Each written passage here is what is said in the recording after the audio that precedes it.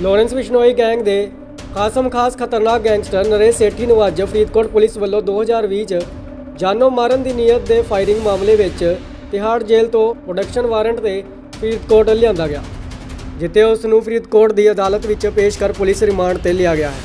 ਫਰੀਦਕੋਟ ਤੋਂ ਮਨਪ੍ਰੀਤ ਸਿੰਘ ਦੀ report, live Bharat. Sir ਇੱਕ ਨਰੇਸ਼ ਸੇਠੀ ਨਾਂ ਦਾ ਗੈਂਗਸਟਰ ਪੇਸ਼ ਕੀਤਾ ਗਿਆ। ਕਿਹੜੇ ਮੁਕੱਦਮੇ ਸਰ ਕੀਤਾ ਗਿਆ ਉਹਨਾਂ ਨੂੰ? ਇਹ ਇਦਾਂ ਹੈ ਜੀ 409 ਬਟਾ 20 ਪੀਐਸ ਸਿਟੀ ਫਰੀਦਕੋਟ ਦਾ ਮੁਕੱਦਮਾ ਹੈਗਾ ਉਹਦੇ ਚ ਇਹਨੂੰ ਨਾਮਜ਼ਦ ਕਰਕੇ ਅਸੀਂ ਇੱਥੇ ਰਿਮਾਂਡ ਤੇ ਲੈ ਕੇ ਆਏ ਆ। ਇਹਦਾ ਮੁਕੱਦਮੇ ਚ ਕੁਝ ਰੋਲ ਸਾਹਮਣੇ ਆਇਆ ਸੀ ਜਿਹਦੀ ਅੱਗੇ ਤਫਤੀਸ਼ ਕਰਨ ਲਈ ਇਹਨੂੰ ਇੱਥੇ ਅਸੀਂ ਲੈ ਕੇ ਆਏ।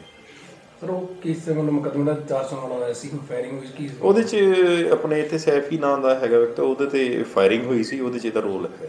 ਸਰ ਕਿਹੜੇ ਗਰੁੱਪ ਨਾਲ ਸੰਬੰਧ ਇਹ ਲਾਰੈਂਸ ਵਿਸ਼ਨੂੰ ਜੀ ਫਿਰ ਫਰਦਰ ਕੀ ਅਗਲੀ ਕਾਰਵਾਈ ਕੀਤੀ ਜਾਏਗੀ ਹਜੇ ਤਾਂ ਪੁੱਛਗਿੱਛ ਕਰਾਂਗੇ ਜੀ ਜੈਸੇ ਜੈਸੇ ਖੁਲਾਸੇ ਹੋਣਗੇ, ਫਿਰ ਅਗਲੀ ਇਦਾਂ ਦੀ ਕਾਰਵਾਈ ਹੋਵੇਗੀ।